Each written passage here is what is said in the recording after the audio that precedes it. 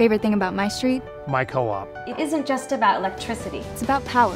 The power of information. about safety, Efficiency Technology. I am the co op. I am the co op. and the co op. is me.